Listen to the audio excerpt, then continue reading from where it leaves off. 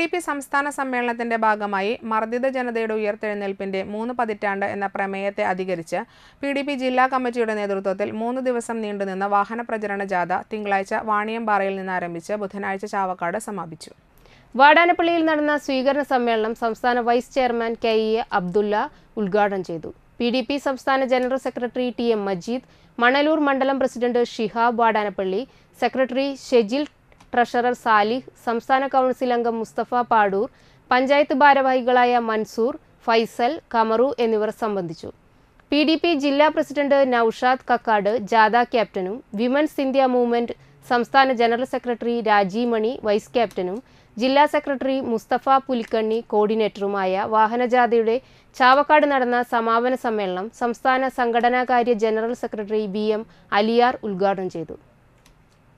ജില്ലാ ട്രഷറർ ആഫിഖ് അലി ചാമക്കാല ജില്ലാ വൈസ് പ്രസിഡന്റുമാരായ മൊയ്തുട്ടി ഹാജി കേച്ചേരി സൈനുദ്ദീൻ പത്തുളങ്ങര ഡോക്ടർ കബീർ മൗലവി ജോയിന്റ് സെക്രട്ടറിമാരായ ജൻസൺ ആലപ്പാട്ട് ഹുസൈൻ അകലാട് തുടങ്ങിയവരും വാഹനജാഥയ്ക്ക് നേതൃത്വം നൽകി.